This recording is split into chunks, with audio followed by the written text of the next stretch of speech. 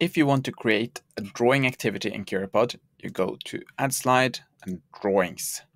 This is an activity where the students, instead of answering with words, they answer with a drawing or something they make on the whiteboard.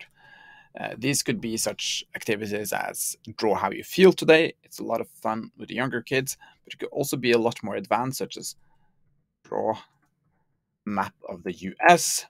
You can use it for math exercises. Down here, you have click to create a background for the participants to draw on. If you click this, you can add something to their students' drawings canvas. Uh, if you don't do anything with this, they get a blank canvas such as this.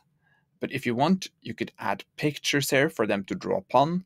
Uh, you can add, for example, the start of a, a mathematical exercise 2x equals 4. And they all start with this, and they're supposed to draw uh, the answers. So it's a really easy way of handing out worksheets to every one of your students.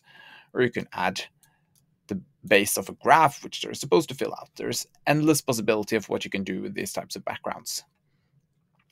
And that's it. Good luck.